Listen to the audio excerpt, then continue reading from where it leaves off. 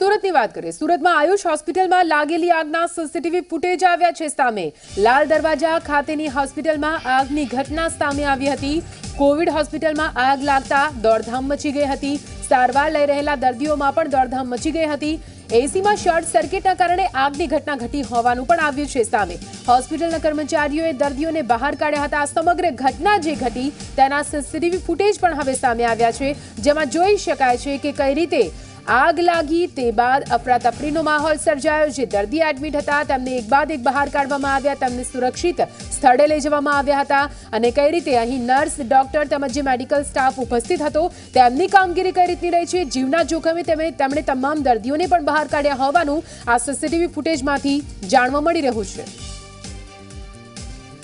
વધુ માહિતી આપવા માટે સંવાદદાતા ચેતન પટેલ જો- જોડાઈ ગયા છે ચેતન સીસીટીવી ફૂટેજ પણ સામે આવ્યા છે કે કેવી રીતે આગ લાગી તે પ્રતિ સમયે કેવી અ, અફડાતફડી મચી હતી શું માહિતી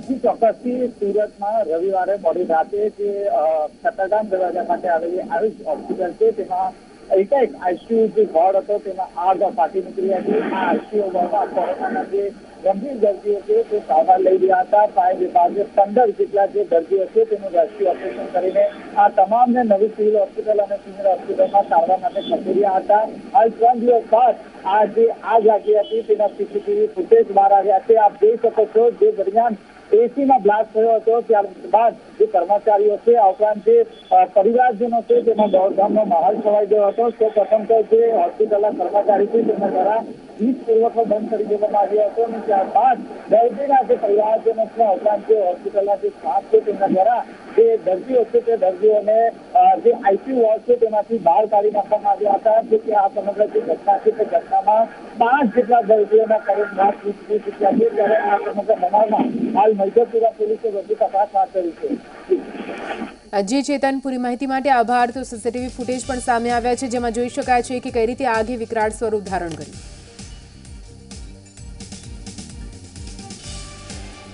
તો આપને જણાવી દઈએ લાલ દરવાજા પાસે આ હોસ્પિટલ આવી છે અને વધુ એક હોસ્પિટલમાં અ, અહીં આગની ઘટના મોડી રાત્રે સામે આવી હતી આ સમગ્ર ઘટના કે જેમાં જાનહાનિ પણ થઈ પરંતુ હવે સીસીટીવી ફૂટેજ પણ સામે આવ્યા છે જેમાં જોઈ શકાય છે કઈ રીતે એસીમાં શોર્ટ સર્કિટના કારણે આગ લાગી અને તે બાદ અફરાતફરીના માહોલ વચ્ચે મેડિકલ સ્ટાફે એક બાદ એક કામગીરી કરીને દર્દીઓને બહાર કાઢ્યા